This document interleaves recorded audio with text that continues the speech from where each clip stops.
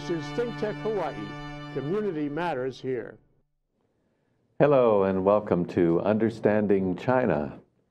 I'm Michael North, and I've just returned from several weeks in Beijing, where I have some interesting friends and ideas and people to bring to you all about uh, understanding the way that the largest country in the world by population and the second largest country in the world by economy is developing. And it's here's a little economics lesson for us. We're pretty much reviewing what we already know, but perhaps in a slightly different light. If you see China from China's point of view, the economic development of the country, um, the development of the country has taken place in light speed. Beginning in the 19, middle 1970s, China went from being a third world country with very uh, with, with old or limited infrastructure to now being a 21st century first world country. And the pace of that development in the last 40 years has been just incredible. We all know that. But how has that been financed?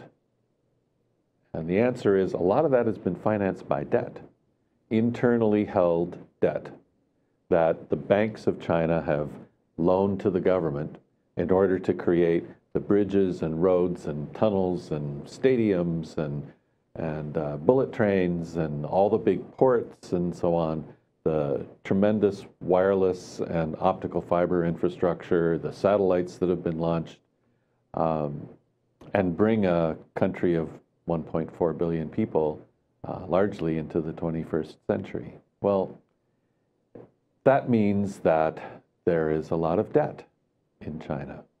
And it generally gets handled well, and they they're growing quickly enough to be able to handle making the payments. But they can see, as the rest of the world does, they can see around a corner, and they know that there's a limit to the debt formula. So they're looking for ways of kind of shifting the obligations for the future, the next waves of development for China, uh, more into the private sector.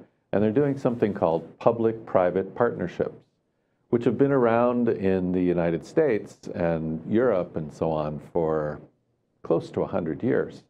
Um, a lot of our roads and stadiums and so on are financed by a combination of government land and resources and sort of guarantees and private sector funds that come in as, as investments.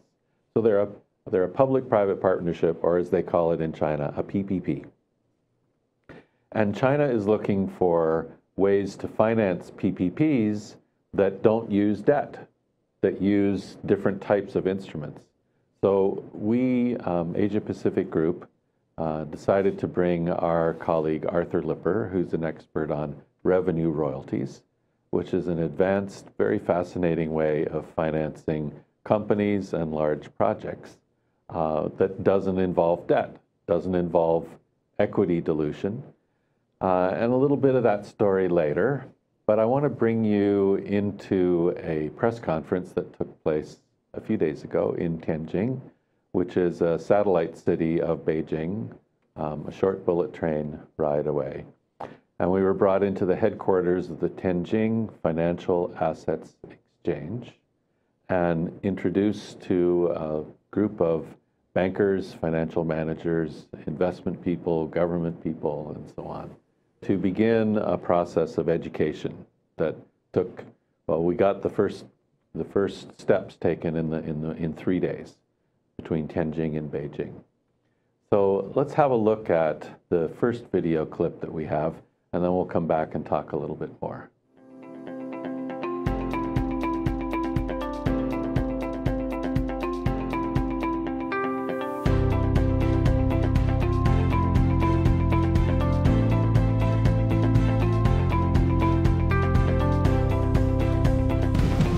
Distinguished leaders, dear guests and colleagues, Welcome to Tianjin Financial Assets Exchange.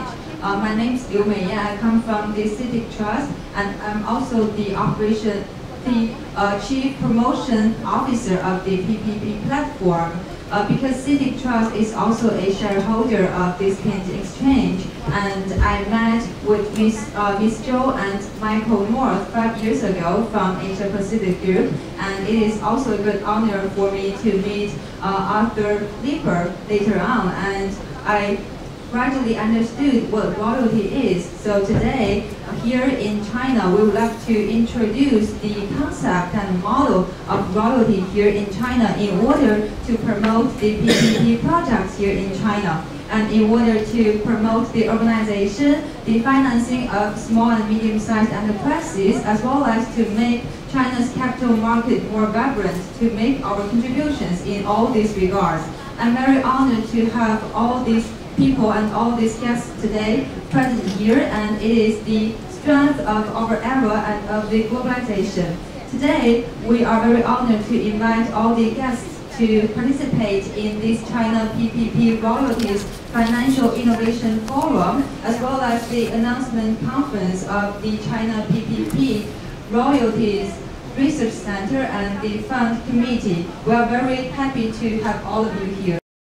In this morning's Financial Innovation Forum, Mr. Lipper will briefly introduce to you regarding the design concept and the application approach of royalties in different projects and investment sectors. And in this afternoon, we will still have another two hours for the roundtable discussion to have further discussion regarding royalties together with Mr. Arthur Lipper. And then for tomorrow and Friday, we will have another training session in Beijing to give you a more detailed introduction regarding the royalties. Uh, in July 2017, at the National Financial Work Meeting, President Xi Jinping emphasized that efforts need, need to be made to vigorously improve the modern financial service system in order to improve the ability of the, of the finance to serve the real economy. In particular, we need to make more efforts to increase the proportion or ratio of the direct financing and in order to provide low cost and highly efficient financing service for the real economy. We believe that we need to study the technical and economic characteristics of the PPP projects as well as their requirements for financing and vigorously explore the direct financing routes or channels for the PPP projects which can be conducive to make the capital market more vibrant and, and enrich more financing channels and it can also help promote the direct financing for the PPP projects with very high efficiency, and it can also help attract more international investors to participate in China's new urbanization development. The study of royalty is based on the above-mentioned consideration.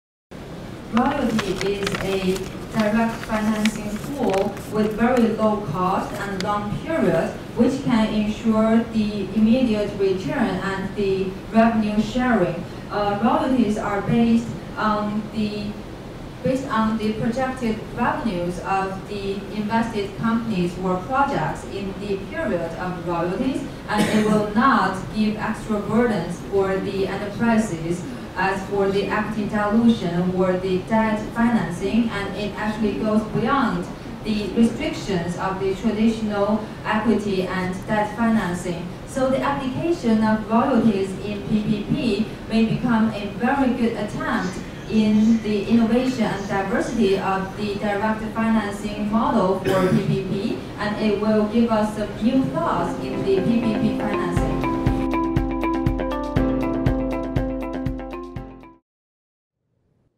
One of the people who attended the revenue royalties briefing with Arthur Lipper was Liu Kunfang, a billionaire investor and developer from Shenzhen in southern China, just across from Hong Kong. And Shenzhen is a fascinating place. In the mid 70s, Shenzhen was 20,000 people, basically growing rice in a small village, very pleasant. Today, it's 8 million people. And in the surrounding area, another 8 million people, mega city manufacturing, and so on. a lot of what the, we see, especially in electronics, including Apple, iPhones, and so on, comes from Shenzhen. So uh, Liu Kunfang is one of the developers who's taking on the next generation of, of economic development, real estate development, industrial technology development, and very interested in investing in new companies, new world-breaking technologies. So we had an interview with, uh, with Mr. Liu Kunfang after the program of revenue royalties. Let's have a look at that interview. Okay, we are here in Beijing at the close of a day long financial education session uh, in a beautiful place. And I wanted to talk to one of the participants here, Mr. Liu Kunfang, who is a Chinese investor.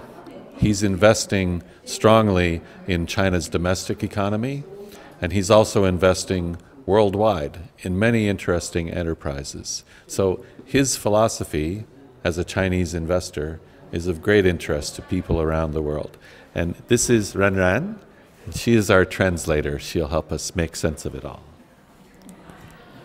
好，那我们我刚才我现在翻译他说的话。我们现在呢，在一个北京一个非常美丽的地方。我们现在已经经过了一天长达一天的这样的一个金融方面的培训。现在呢，我们想采访我们其中的一位培训参加培训的学员。呃，我们的这一位先生呢，他是一个非常出色的投资家，不仅在中国，也在世界各地有各种不同的投资项目。所以我们可以从他这里了解到我们在中国的一些投资的理念，以及我们呃经营公司其他的一些理念等等。So, Kunfang, I know you have some very interesting activities in southern China, Shenzhen. Can you describe those activities and what their real purpose is? What is their mission? 好，呃，我知道您在中国的深圳南方有一些投资的项目，那您能不能给我们简单的介绍一下您的这些项目，并且给我们说一下您投资的一个目的是什么？ 呃，很很高兴，是谢谢 Michael 给我这次机会，能够说一下这个，嗯，在呃南方深圳，我们做了一些，呃，很多就是嗯高科技还有石油、通讯方面的投资。呃，我们公司的一个宗旨呢，就是叫做是呃呃经世济人，叫做是嗯经营世界，嗯救济世人。嗯，Thank you very much. Uh, Michael, for giving me this opportunity. Uh, yes, we do a lot of business in Shenzhen, in southern China. We do a lot of investment projects in oil, uh, in uh, different kind of fields, and maybe in some other high-tech industries. And for our company, we have a corporate culture, which is a Chinese philosophy. To translate that into English, it means that we need, uh, we want to do business in the world, and we want to help all the people in the world. So how are you helping people in the world through your business investment? This is an area that's of great interest to many Americans. We want to do sustainable, positive investment that benefits people and the environment. And I know this is part of your philosophy. Explain a little bit. 好，那您刚才说经世济人，那济人事实上就是帮助别人。那怎么样能够通过您的投资帮助别人呢？事实上，这应该也是我们美国的这些企业家或者美国的民众想要了解的，就是我们怎么样能够通过这样的一些投资活动，对于我们的环境，对于我们的人都创造出一些价值呢？呃，是呃，这个分几个方面。第一个方面呢，就是一个我们呃每个月有这个就是这个嗯。经典经典文化在企业里面应用的免费培训，这是第一点。第二点呢，是我们这个投资的呃理念，就是叫阴入阳出，就是叫什么呢？就是投，相当于叫雪中送炭，就是投到呃国家或者是企业里面呃最需要的地方。嗯。呃，第三个方面呢，就是。企业里面就是一个就是要讲这个就是嗯比较严格的制度，帮助一个是企业内部的这个嗯员工，还有团队客户，能够有足够的精气神儿，就是呃精气神知道这个，能够把身体以身体好为条件来做企业。再一个就是说能够帮助企业里面的这个呃团队，还有其他的就是相关的公司去。主要是转变观念，关键是在观念、理念上的变化。因为啥呢？现在中国的企业已经是到了一个十字路口，首先是就是只有转念才能才能救济企业。谢谢。Uh, there are several parts of it to benefit the people and benefit the world. Uh, first of all, in our company, every month we will have some free training courses provided to our employees regarding the Chinese traditional classic philosophies as to do the business. And the second, uh, we want to promote our traditional culture in this from this approach. And the second part is that we want to uh, have uh, one of our business or investment philosophy is to help those people who are in need or who are in urgent need. We will invest in those projects which really need our help and need our assistance and maybe our capital. And the third part is that we want to uh, build a very good, um, uh, a very good appear, a very good, uh, how to say that? We want to have a very good energy in our company. We want to uh, have, we want all of our employees to have very good health, both mentally and physically. And based on that, we want them to have very uh, high energy and want them to have the passion for the investment. And we another thing is that we also want them to change their mind. They need to know the essence or know the value of what we are doing. I know, Kunfang, one area you're interested in is energy and transitioning away from hydrocarbons like oil and gas and coal into new renewable sources. Can you talk to us a little bit about your company's investments in that field in China and beyond? Mm. 呃，我也知道您现在在能源方面也是有一些投资，从传统的这些化石能源转移到一些新能源。那您能够给我们讲一下您在这个新能源方面的投资的项目吗？呃，这个是在呃，除了传统的石油、天然气之外，呃，新能源主要是这些就是非传统的这个石油、煤炭，呃，这些之外呢，就是主要是动力电池，就是动力电，就是动力电池。这是很重要的一个，就是包括就是呃石墨烯，还有那个锂电池、稀土电池，这些是呃呃一个是我们也是我们呃投资的一个一个方向，呃但是整体来说，不管它是这个呃呃能源方面，还是呃新能源方面，还是传统能源方面，最重要的是一个是能够让它能够生财，就是能够产生新的新的增长点，能够把。把这个生生不息落实到就是每个项目里面去。Uh, apart from the traditional fossil fuel like uh, oil or gas, we are also investing in some uh, battery projects such as the rare earth battery or the lithium battery or other new types of the batteries mm. to use them as, a, as a type of energy. Mm. And also, we want no matter it is the traditional fossil fuel or the new energy, we want them to really benefit the people and to really have new growth point. We want them to like have this sustainable development all the time. Ah. I heard that you were very interested in medical technologies, healthcare technologies.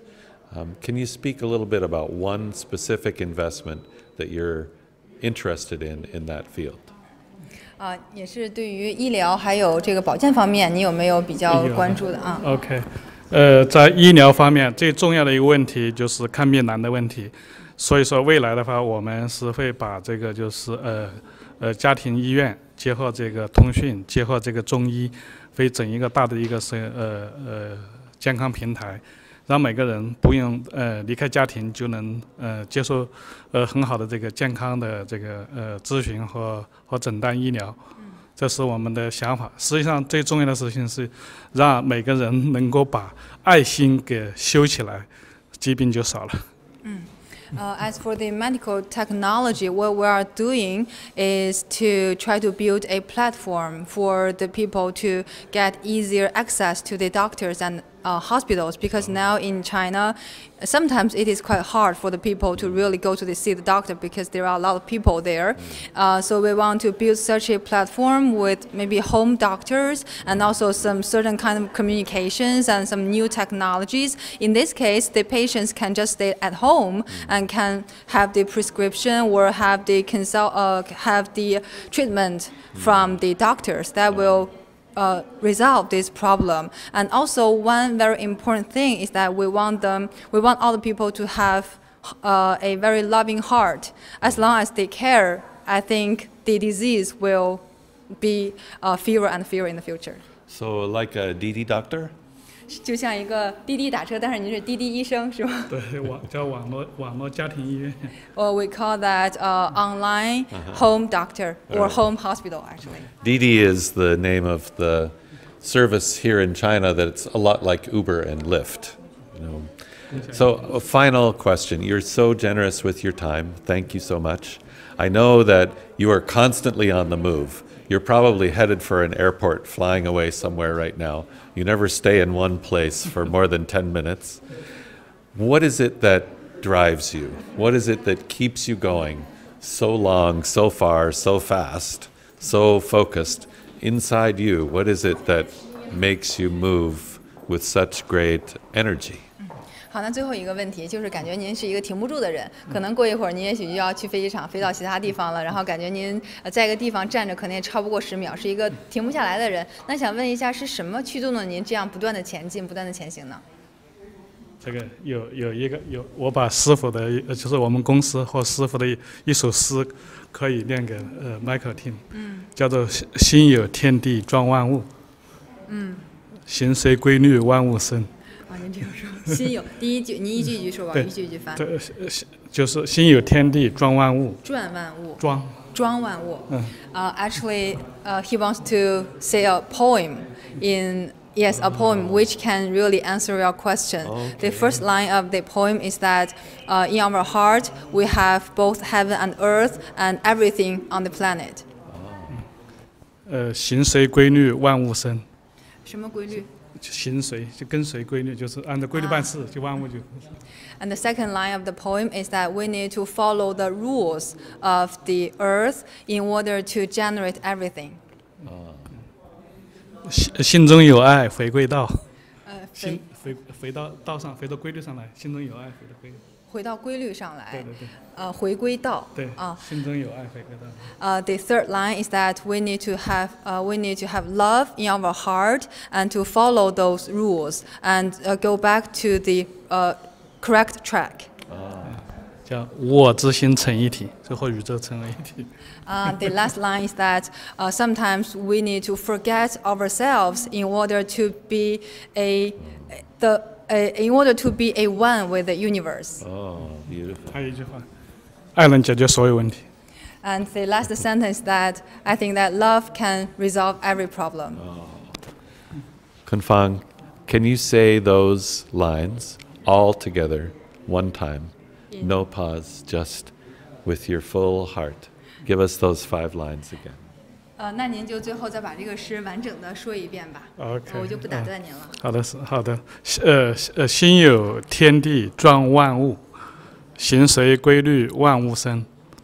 心中有爱回归道，无我之心成一体，爱能解决所有问题。谢谢你，谢谢谢谢谢。Saying goodbye from Beijing with Mr. Liu Kunfang from Shenzhen. Aloha. Finally, I wanted you to meet Renren. You've seen her and heard her during the other segments. She's the translator. And normally, translators are functionaries at an event. But in fact, this young lady um, translates, interprets for some of the most important events that take place in the capital, Beijing, um, and between English and Mandarin. And she is typical of a young generation of professionals, highly trained, very idealistic, extremely focused on her future. Um, and I wanted you to have a chance to meet her, step inside her shoes for a few moments. So let's meet Ranran, our translator. We're here in Beijing with a young lady who is a expert translator. Her name is Ren. Is that close Yes. enough? Yes, very and correct. her English name is pronounced Elaine, of Right. course, but her real name is Ren Ren. Yes. And we've been working together the last two days with some very demanding translation of very complicated, high energy financial terms. Right. And she talks very fast. So I wanted to get some insight from Ren Ren about who she is, where you come from, Mm-hmm. why are you doing what you're doing, and where is your life, where is your career going? Okay. Okay, uh, first of all, I'm very happy to have this kind of talk. Uh, my hometown is in Langfang City, Hebei Province, which is very close to Beijing. Uh, if we take the high-speed railway, it will only take us like 20 minutes. So it is very close. And so that is, that is also one reason why I'm now working in Beijing. And I studied English. Actually, I majored in English interpretation and translation for my undergraduate and graduate study, and I always wanted to be an interpreter. Uh, you know, in the past, when I saw the t- uh, when I watched the TV, I will. Uh, see someone who is sitting behind or sitting next to our national leaders, I will think, wow, that is what I want to do. So uh, later on, I went to the China Foreign Affairs University to major in English interpretation and translation. And also, a lot of the people, a lot of the students in our university went to the Ministry of Foreign Affairs to mm. become an interpreter in the national organization. Mm. But for me, I I'm a freelance now, and I really love what I'm doing now. I mm. want to be this kind of freelance. I do not want to work in such an organization full time every day. So this life is much more exciting for me. Oh, so you don't want to work in the foreign ministry, you want to work. Actually, no, uh, because uh, for this kind of freelance job, I can know new people, I can meet you, and, and I can know a lot of financial stuff, uh, which I didn't know before. So I can learn a lot, a lot of the new things every time. So flexibility, freedom is a very Right, important for I think so. Right, Yeah. right. You think that's the Chinese side of you or the American side of you? Maybe American side, because there are now so many freelancers here in China. Although the number is increasing for freelancers, still, uh, for example, in my class at that time we had like 24 students. I'm the only freelancer now. All of them uh, work in some organizations or companies full time. So, final question. This is a bit of a personal question. But I know that when you speak Chinese, you're fully Chinese and you have a way of thinking, feeling, moving as a Chinese. Right.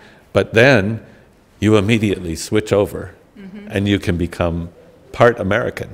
And thinking, feeling, moving, speaking, almost a different voice, I notice Yeah. back and forth. Yeah. Can you talk a little bit about what that feels like to be one person and another person and then the other person and back and forth? Uh, Yeah, maybe it is just only natural for people to have different voices when they speak different languages. It is maybe just natural. But for me, I think I'm always maybe Chinese. Yes, sometimes when I speak in English, of course, I will like speak in this language and I will think also in this language. But uh, inner me, I'm still the, the same me, the Chinese girl. Yes. So, what you just said in English, say it again in Chinese. OK，呃、i n Chinese，呃，我觉得我就是一个中国的女孩儿，然后虽然说有时候说英语会用英语的方式思考，但是内心来讲还是一个中国的女孩儿。 I think you can see what I meant. Yeah, 谢谢 Okay. Very good to work thank with you. you, thank you. Aloha from Beijing. So Renran, who came to us from one of our close affiliates in Beijing, the Beijing Moza Translation Company, she was able to keep up with Arthur Lipper for three days solid, which is hard enough for people who are just doing it in English, but doing it in English and Mandarin at the same time. She did an outstanding job. And, you know, it's in the hands of young women like Renran that the future of China rests, and to some extent, the future of the world rests. So I think that we're in good hands with uh, young leaders like, like this lady. And we'll leave you with that thought. And there's a lot of more material that came from this recent uh, trip to China, and we'll be bringing it to you in future episodes of Understanding China. Thank you from Honolulu.